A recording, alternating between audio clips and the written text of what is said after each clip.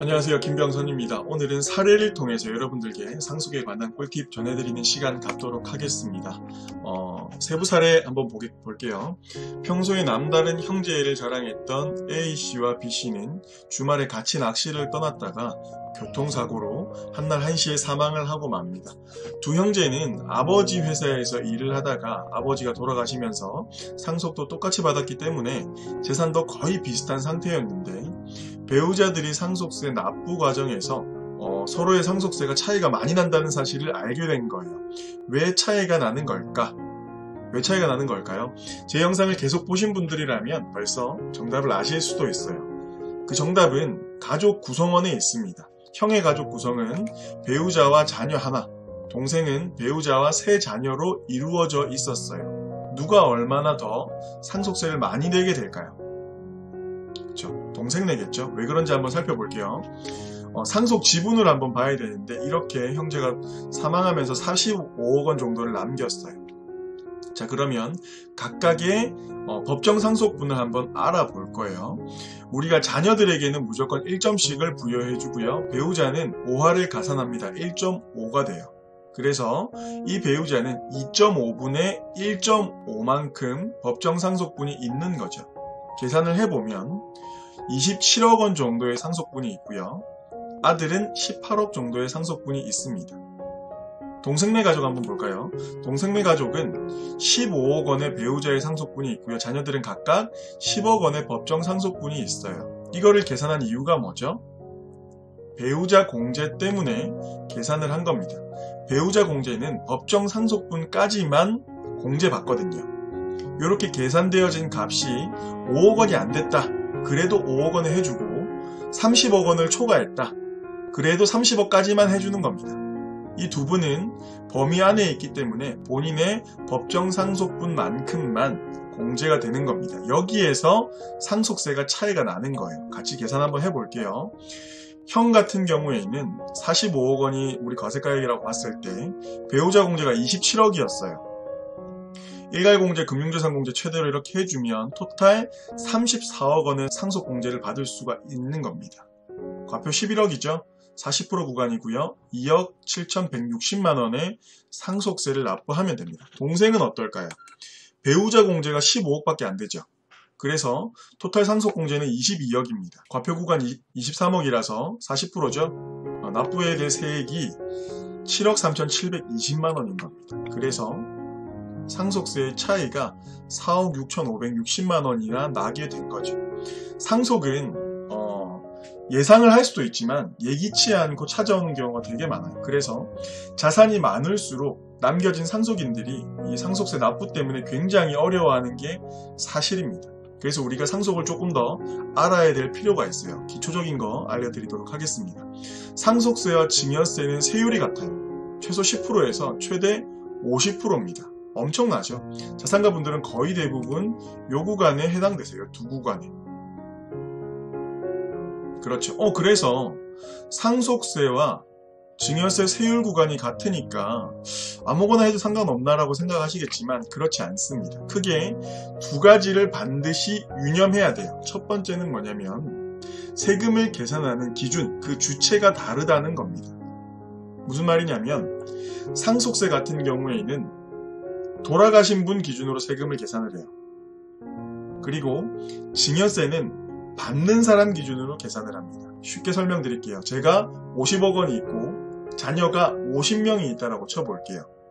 제가 증여를 하나도 안 하고 상속으로 50억을 넘겨줬습니다. 그러면 누가 얼마만큼의 재산을 나눠 가지든지 간에 제가 준 50억 원에 대해서 세금을 계산해요. 그러면 대충 20억 원 초과해서 세금이 나오겠죠. 자, 그런데 제가 사전에 증여를 해줬어요. 1억씩 50명한테. 그러면 얘들이 성년이라고 쳤을 때 받는 사람 기준이라고 했죠. 그러면 5천만 원씩 공제되니까 1억에 5천만 원 공제하면 5천만 원에 대해서 10%의 증여세를 내면 돼요. 얼마예요? 500만 원이죠. 50명이라고 쳐도 2억 5천밖에 안 내는 겁니다. 그래서 우리는 어 상속세와 증여세 어 그럼 증여가 무조건 유, 리한가 그렇진 않아요. 또 우리가 알아야 될 건 뭐냐면 공제입니다. 증여 공제와 상속 공제는 차이가 굉장히 커요. 증여공제는 배우자한테 6억 원씩 우리가 세금 없이 줄 수가 있고요. 자녀한테는 5천만 원씩 줄 수가 있습니다. 자녀가 미성년일 경우에는 2천만 원씩까지 줄 수가 있고요. 자, 근데 상속은 어떨까요? 상속은 배우자가 없을 경우에는 최소 5억 원에서 7억 원, 금융재산 공제가 최대 2억, 2억 까지니까 7억 원까지는 세금 없이 내릴 수가 있어요. 그러면 우리가 배우자가 없을 경우에 내 재산이 얼마 없어. 5억밖에 안 돼요. 그러면 이 5억을 미리 증여할 필요가 있을까요? 아이들한테? 세금 내야 되는데 배우자 없을 경우에? 그쵸? 근데 상속으로 가면 일괄공제가 최소 5억이기 때문에 세금이 없다라는 거죠. 이럴 경우에는 상속으로 가는 게 유리할 수가 있겠죠. 배우자가 있을 경우에는 어떨까요? 배우자 공제는 최소 5억이에요. 그럼 일괄공제 5억과 합치면 10억이죠. 금융재산 공제가 최대 2억이기 때문에 10억에서 12억까지는 공제가 된다라는 겁니다.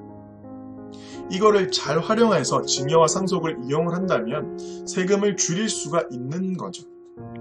그쵸? 제가 절세 팁 다섯 가지 정리해서 여러분들께 바로 알려드리고 마치도록 하겠습니다. 자, 첫 번째, 상속 개시 전에 돌아가시기 전에 재산을 처분하거나 은닉하면 안 됩니다. 재산을 함부로 처분했다가 오히려 시가가 노출이 돼서 상속세를 더 내야 될 수 있고요. 상속세가 너무 많이 나올 것 같아서 재산을 은닉했어요. 계좌를 뭐 돈을 인출해서 이렇게 했다거나 그렇게 했어요. 그러면 우리가 1년 이내 2억, 2년 이내 5억의 자금이 어디로 흘러간지 모를 경우에는 상속으로 추정을 받습니다. 그래서 상속세를 내야 돼요. 바꿔서 말하면 어, 돌아가시기 전에 자금의 흐름은 근거를 반드시 남겨놔야 상속세를 더 안 낼 수 있으니까 요거는 중요한 팁이니까 알고 계시면 되고요. 두 번째, 15억까지는 상속이 유리합니다. 그쵸? 왜냐하면 공제가 굉장히 크기 때문에 그래요. 자, 15억 원을 초과하는 경우에는 상속도 당연히 세금을 상속세 공제가 있기 때문에 어, 이것도 반드시 이용해야 되겠지만 증여를 사전에 반드시 고려해야 돼요. 그렇죠? 그리고 우리 증여는 어, 10년 단위로 증여를 비과세 증여를 할 수 있기 때문에 최대한 이용을 해야 되겠지만 돌아가시기 직전 10년에는 증여를 해봤자 상속세 계산에 포함이 돼요. 물론 증여세 낸 거는 고려해주지만 그래서 미리미리 비과세 증여를 최대한 많이 해놓을 필요가 있다라는 겁니다. 그리고 재산이 많으신 분들은 특히 이 3번 증여를 미리미리 고려를 하셔야 되는데 수중자를 최대한 많게 해야 돼요. 아까 제가 50명이라고 예를 들었지만 최대한 자녀 배우자들한테 증여를 미리 하고요. 그 손자녀한테도 증여를 할 필요가 있습니다. 이렇게 세대를 생략해서 증여를 했을 때는 국세청 입장에서 세금을 두 번 거둘 수 있는데 바로 상속을 했기 증여를 했기 때문에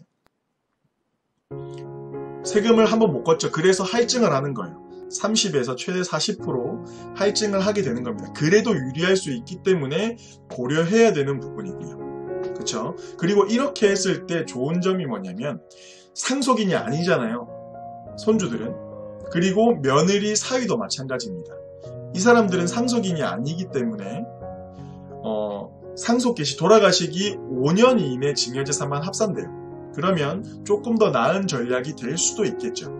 그렇죠. 이런 부분을 반드시 고려해서 증여했으면 어, 좋겠습니다. 그리고 마지막으로 결국에는 상속세 납부 재원 이게 굉장히 골머리 앓는 거거든요. 그래서 상속세 납부 재원 이거는 너무 많이 말씀드리는 거라서 미리미리 준비를 해놔야 됩니다. 김경선이었습니다. 감사합니다.